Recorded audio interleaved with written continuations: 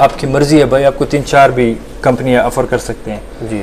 अब जिस आपकी मर्ज़ी है जिस कंपनी को आप जाना चाहते हैं। ओके। मेरा भी ऐसा ही हुआ ऐसा ही हुआ था जब मैं 2015 में मैंने टेस्ट किया। तो ये गुड था मेरा कि मैं उसी टाइम मेरे एक फ्रेंड ने फ़ोन किया कि आप जाएँ उधर एक ऑफ़िस है उस पर कुछ वीज़े आए हुए हैं कुछ ख़ास कंपनी के। अब जाके उधर वो अप्लाई करें। मैं उधर गया फिर इंटरव्यू दिया। कुछ पचास बंदे थे उन्होंने पाँच पाँच मेरे ख्याल में उन्होंने लिए होते हैं पाँच बंदे लिए थे हाँ। ओके तो उन्होंने फिर जब कंट्रैक्ट भेज दिया कंट्रैक्ट का मैंने वेट किया कंट्रैक्ट आ गया। कंट्रैक्ट में उस उस टाइम पे इन्होंने जो सैलरी बताई थी तीन हज़ार पाँच सौ मेरे ख्याल में बेसिक सैलरी थी और बाकी जो पंद्रह सौ रियाल थी वो रिहाइश और ये मतलब पाँच हज़ार रियाल आपको मिल हज़ार जाते उस टाइम भी? उस टाइम में पाँच हज़ार। तो ये दो हज़ार पंद्रह की बात है सारी ना? ये दो हज़ार पंद्रह की बात है। आजकल भी मेरे ख्याल में रेंज वही है। तो अब एक चीज़ मैं पूछना चाहूँगा यहाँ पे कि जैसे 2015 में आप मतलब अप्लाई किए आ गए तो सेम उस टाइम भी पाँच हज़ार थी और इस टाइम भी वही वही है सैलरी मेरी? जी।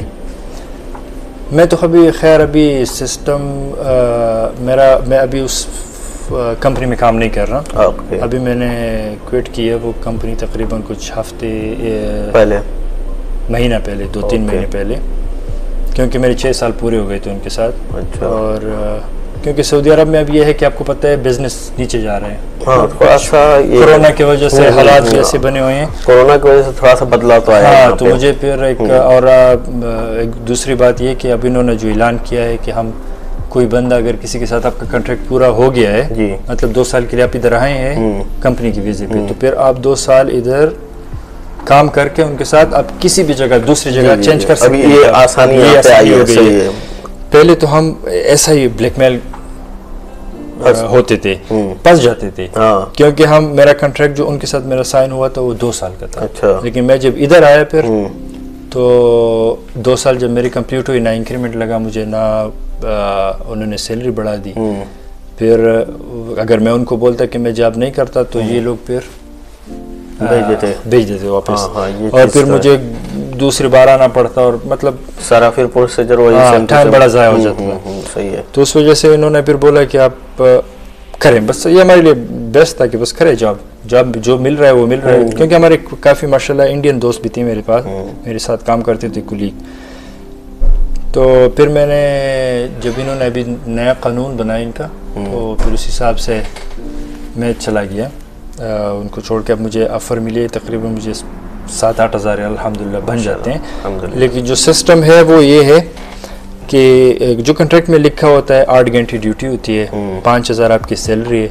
लेकिन फिर इधर आके आप ओवर टाइम भी लगा सकते हैं। और ओवर टाइम के बाद कमीशन देते हैं। अच्छा। जैसे अगर आपने एक लाख रियाल की सेल की है तो एक लाख रियाल में वन परसेंट टू परसेंट आपको मिल जाता है। बढ़िया है। हाँ तो हज़ार पंद्रह सौ रियाल उसके अलग बनते हैं ओवर टाइम के अलग बनते हैं। तो अब जो अल्हम्दुलिल्लाह सात हज़ार सात आठ हज़ार तक हर फार्मासिस्ट को इधर से उधर में सात आठ हज़ार मिल जाते हैं। माशाल्लाह बहुत अच्छी सैलरी है तब तो। तो हमारे तो काफ़ी दोस्त इंडिया में भी होंगे काफ़ी फार्मासिस्ट कुलीग्स होंगे क्योंकि सिचुएशन बहुत ज़्यादा है।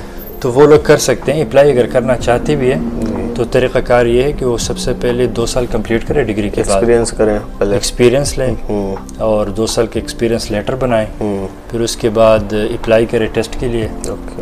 टेस्ट की अप्लाई के बाद जब दे देते हैं टेस्ट पास हो जाता है तो पास के बाद फिर इधर जो दोस्त होते हैं हमारे काफ़ी है अ, अ,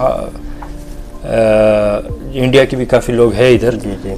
तो वो फिर गाइड कर सकते हैं क्योंकि लोगों को कंपनियों में ज़रूरत होती है। तो फिर कंटेक्ट में रहे जो जिनको ज़रूरत है तो वो वीज़ा भेजेगा कंट्रैक्ट उसका आएगा उधर ही और उस हिसाब से वो फिर जॉब सिग्नेचर करके साइन करके कॉन्ट्रैक्ट तो उसके बाद वो आ सकते हैं फिर सऊदी ऐसी बहुत बहुत शुक्रिया। और डॉक्टर साहब मैं आपसे ये जानना चाहूँगा जैसे आप यहाँ पे जो रह रहे हैं आपका रहना है आप फैमिली के साथ यहाँ पे? जी फैमिली के साथ। ओके तो ये फैमिली के साथ आप स्टार्टिंग से या मतलब फिर आप मतलब ऐसे आ, आने के बाद आपने अपनी फैमिली को ले गए अच्छा फैमिली तो खैर मैं अपने हिसाब से मतलब कुछ कंपनियाँ होती हैं वो फैमिली अगर आप साथ रखना चाहते हैं हम्म। तो उसका ये है कि ये लोग सैलरी में एडजस्ट कर लेते हैं। अच्छा। लेकिन हर कंपनी का मुख्तलिफ़ मतलब उनका है रूल्स मुख्तलिफ़ हम्म, है जो मेरी कंपनी थी वो हमें टेस्ट रिटर्न टिकट फैमिली के देते थे। अच्छा। और जो पहले की बात कर रहा हूँ अभी इनके साथ जो है वो सारा कुछ इसमें एडजस्ट है इंक्लूडेड है। लेकिन जो वो था तो उसमें ऐसा होता था कि वो हमें सिर्फ़ रिटर्न टिकट देते थे बस. जो फैमिली इधर होती थी और बाकी कामा वगैरह देते थे।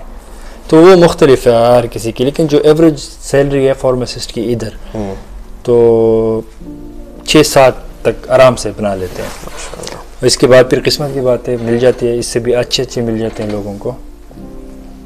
तो इस टाइम आपकी मतलब क्या टाइमिंग है ड्यूटी की? जैसे आप कितने बजे आते हैं और फिर आप कितने टाइम मतलब क्लोज करते हैं दुकान को?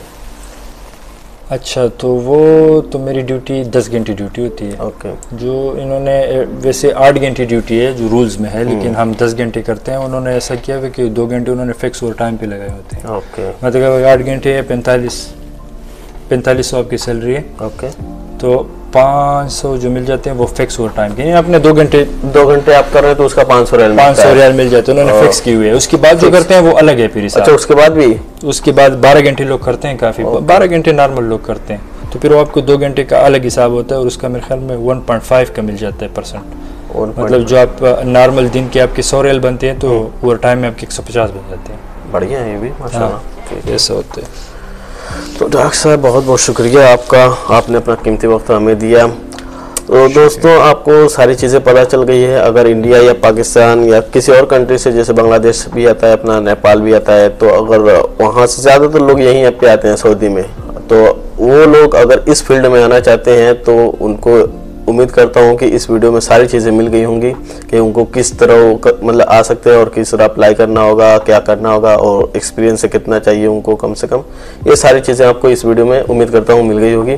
तो मिलते हैं आपसे अगली वीडियो में। इस वीडियो को यहीं पर ख़त्म करेंगे और चैनल के सपोर्ट के लिए लाइक सब्सक्राइब और शेयर ज़रूर कर दें। और एक बार मैं इस टूर लूँगा एक बार इनका स्टोर जो है आप लोगों को इस वीडियो में दिखा दूँ कि इनका एक स्टोर कैसा है। ठीक है डॉक्टर साहब बहुत बहुत शुक्रिया आपका। ओके सो मच ओके दोस्तों तो चैनल को सब्सक्राइब कर दो। मिलते हैं आपसे अगली वीडियो में। Bye bye